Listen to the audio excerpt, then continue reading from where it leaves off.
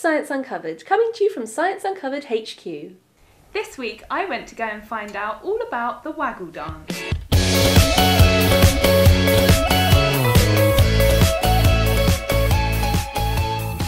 what dance?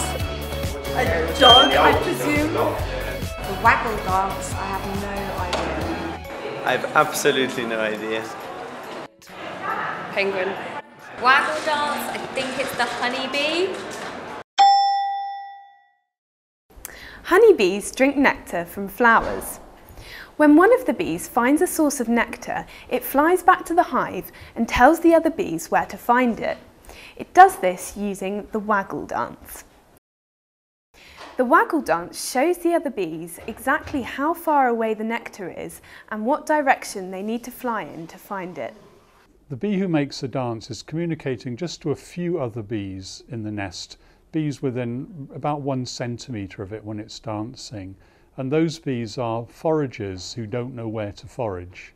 And after following the dance, they'll usually go off looking for flowers. The waggle dance is like a figure of eight. It involves a run with a waggle and two circles. The run shows the other bees the direction of the nectar. And the speed at which the dance is performed shows how far away the nectar is.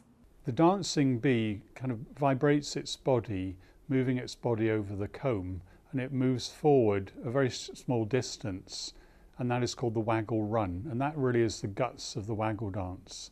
And then it goes back to the starting position and repeats the waggle run. And it may repeat it as many as a hundred times, but it repeats it the same each time.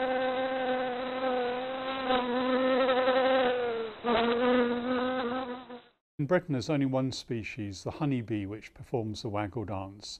But in Asia, there's about 10 other species of honeybees, and they also perform basically exactly the same dance. The waggle dance doesn't really go wrong as far as the bees are concerned, but we humans can sometimes interfere with it for the purposes of our research. So if we turn the beehive on its side, the bees can no longer make orientated dances.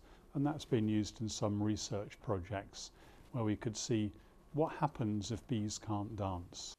It's only the worker honeybees that perform the waggle dance. The queen is not involved at all and neither are the drones. The waggle dance is quite effective. It increases the foraging efficiency of honeybee colonies.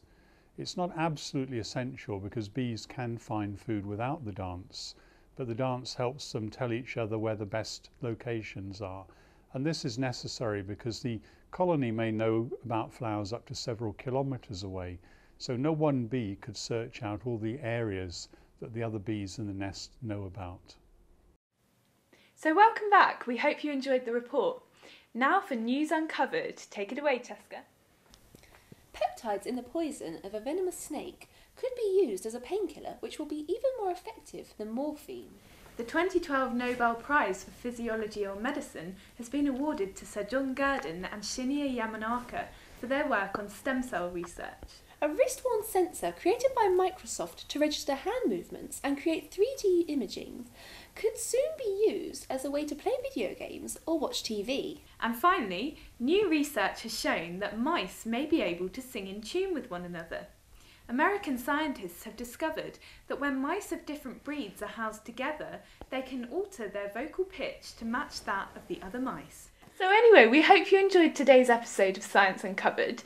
Do make sure if you haven't already that you're following us on Twitter and that you've liked our Facebook page. Thank you for watching. Goodbye.